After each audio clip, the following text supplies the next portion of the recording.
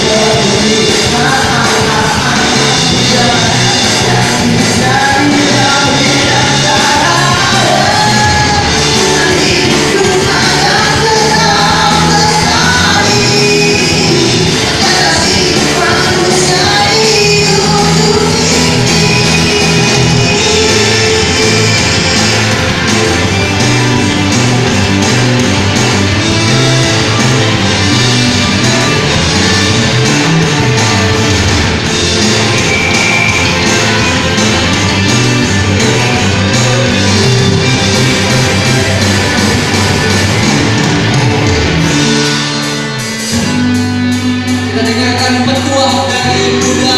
Sumatera Utara Sakti Sanjaya